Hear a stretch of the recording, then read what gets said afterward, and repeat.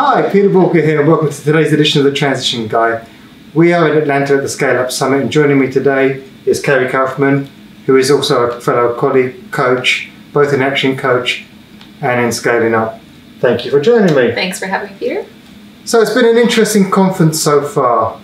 And one of the big topics that seemed to be coming up from all the speakers, apart from the one on artificial intelligence, of course, mm-hmm. was around the one around trust. Yeah. Now, why do you think trust has become such a big thing? As a couple of the speakers pointed out today, if you peel back the problems that you have in a company, whether they're team engagement issues, retention, customer service issues, at the core is always trust, right? Is there clarity? Do I trust that somebody has my best interest in mind? Uh, do I trust we have the same motivations? Do you have the right character and the right competence? Uh, those are really at the core that they might be disguised as other problems. And how often do we see this playing out with our clients? When you think about it, all the time. I mean, when I think back to my clients, a lot of the challenge that we have is actually the behaviors of both the leader and the team. Wherever I see friction really playing its part, it's where trust has been broken. Mm-hmm. I heard a statistic the other day, and I'm going to butcher the exact number, but it was roughly two thirds of employed people are at least passively job searching, if not actively.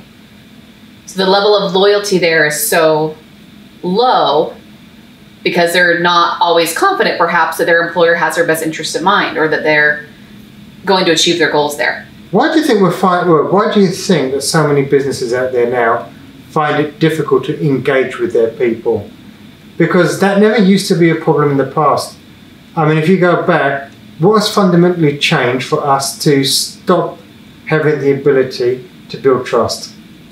I don't know that it's changed. I think just the way our society reacts to it now has changed. If you think about uh, my parents, or even more specifically, my grandparents' generation, it was a mentality. The culture was you get a good job and you keep it 40, 50 years, right? And our culture has shifted away from that now. And it didn't necessarily mean it, it was po- probably a false sense of trust. Um, maybe the most they could trust was that they were going to have a pension at the end of it. Um, and that trust has been eroded. That doesn't really exist anymore. Uh, but I don't know that were, it really created trust or it just gave the illusion of trust because that was considered the norm. And in this day and age, it's not. It's not common for people to stay and work at one company. We question things a lot more and are a lot quicker to uh, jump ship, make decisions. And I would say that's the same with our customers as well. Absolutely. I think that's everything.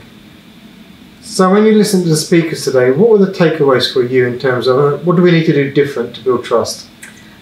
One of the things that I thought was interesting, I never quite thought about it in this way, was that clarity is one of the pillars of building trust. If people aren't clear, then they're they're not actually sure what they're trusting in and that most companies, even if they think they're clear, they're not. Okay, he gave an example of using the word how to really dig in until you get to an action step. Like, for example, I ask you, uh, a business owner, uh, what's one thing that you really want to improve to take your company to the next level? And the business owner says, well, we want to improve our customer service. Well, how? Well, we need to uh, communicate more with our customers. Well, how? Well, we need to follow up on stuff. Well, how? You can keep digging until you get to something actionable that's so clear that you could do it today or you could do it tomorrow. So everybody knows what to do. It creates team alignment and it creates momentum in the organization. And have you noticed that a lot of people do not want to ask the how question? It's like they're just too busy. In fact, a lot of the interactions I find people are having are forced interactions. Mm-hmm. They're having the interactions where they will say, hey, I'm going to have this conversation because I need to have this conversation, but really I'm not present to have this conversation mm-hmm. because I've got something else to do. So as long as I've told you something in a roundabout fashion, you're good to go. That doesn't really work anymore, does it? No. So how do you help your clients actually overcome this? Because it's a big problem. This whole abdication of relationships is a massive problem. And what I particularly sort of like what you said, is that clarity bit. Because a big part of the problem with trust is clarity. The amount of times I ask, I ask people, okay, so what does this person do? Well, I don't really know. How can you tell this person's had a good day? I don't really mm-hmm. know. Is this person doing a good job? I don't think so. Okay, Do why they not? think they are? They probably do. But they have no, they have absolutely no basis to make a proper judgment call on whether that person's doing a good or bad job. It's just a feeling Mhm. based on whether they like them or not, or saying they've done something to piss them off or whatever it is. But they've got no true metrics because, as you said, there's an absolute lack of clarity. Yep. So how do you how do you help your clients get that clarity? Well, feedback is hugely important. So it starts with some of the, the fundamentals like do you have a clear vision? Uh, are roles clear? our desired outcomes or key performance indicators clear from every position?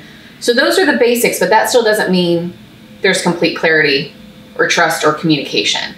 So having a consistent feedback loop where there's certainly performance evaluations, but simple things like somebody walks into your office, like close your laptop screen. You know, don't have your phone out on the table during a meeting. Just actually being present and taking the time. Uh, not only does it help to create clarity on expectations and that communication is actually being given and received the way that you hope it does, but it builds the relational capital, right? Which is that trust that we're talking about to help a company thrive. So one of the things that I do with a lot of my clients. Have you ever come across the book The Speed of Trust by Stephen M. R. Covey? Mhm. Probably one of the best books on building trust. And that book's got to be the best part of 10 years now. Probably. But actually, the things that he talks about in the book then are as applicable today. But yes, you're absolutely right. It's about being present. And I just think that we very much live in a world of interruption where I've seen it before, and I've seen it where I've sort of sat in on board meetings and I'm watching people being on their phone, checking their emails all the Mhm. time, and avoiding, absolutely avoiding actually talking about the real issues Yep. and actually skirting around things. So, were there any other takeaways today that you could say to business owners out there? If you did this, this, and this, you're a long way along the journey in building trust. Start by taking the time to really develop solid relationships with your team members. Genuine, solid. Genuine, yeah. You've got to, you've got to want to be with them. They have to know you care, right? They have to know that you want them there, that you value their contribution, uh, which studies have shown over and over. Like those are the key contributors to job satisfaction, right? Knowing that you're contributing and that your contribution is valued, Yep. right? That you have a good relationship with your direct manager or leader. Uh, so if your team is happy, uh, happy pr- employees are productive employees, and that builds the trust, which builds the bottom line at the same time. So engagement. What else? What was your question? Well, it's what advice would we give to entrepreneurs out there, Mm. business owners, in terms of building trust? So yes, we've got to we've got to really communicate well with our employees, actually show them that we care, and show them that we're present. What Yeah. else? Something I've been encouraging my clients to do a lot is to tell stories. Okay. Stories that uh, prove things like their core values. Like, let me show you, let me tell you a story about a time that we've proven this to be right, we've proven this to be true. Something that takes uh, the most maybe seemingly mundane task from the guy or the gal that's sitting behind the computer just kind of pumping away and connect that to the bigger purpose of the end customer that they helped to serve because we forget about that. When you're just kind of doing your own thing in your own little world, you forget about the ripple effect and how your personal contribution actually matters to the customer. So to uh, take the the key performance indicators and the numbers and define them instead as a like a multiple of a purpose, like connect them back to the real benefit to the the customer, not just to the uh, trackable metric. right? So storytelling. Yeah.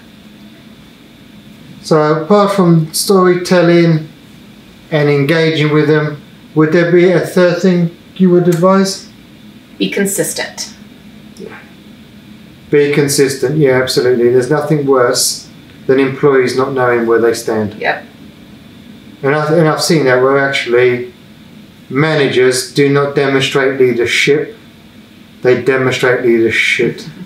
And unfortunately, leadership does kill Yeah. employees. It kills your bottom line. Well, thank we you. tend to make excuses for it. Yeah. Like um, we say these things are important, but then it's the manager that maybe is late to the meeting or cancels the meeting, right? So that level of consistency. Do what you say you're going to do. Fantastic. Well, thank you very much, Karie. If anything we've talked about today resonates with you, especially around the consistency, building trust, because building trust isn't an overnight thing. There's going to be a lot of behavioural changes that you are going to have to undergo in order to be able to build that trust with your people. You may have people in your team that actually, no matter what you do, you're not going to build trust because the relationship is so far gone, it cannot be repaired. Things like that resonate with you and you want to work on them and you want a better form of clarity how to deal with that, head over to boolkah.com and get in touch. And remember, failing to learn is learning to fail.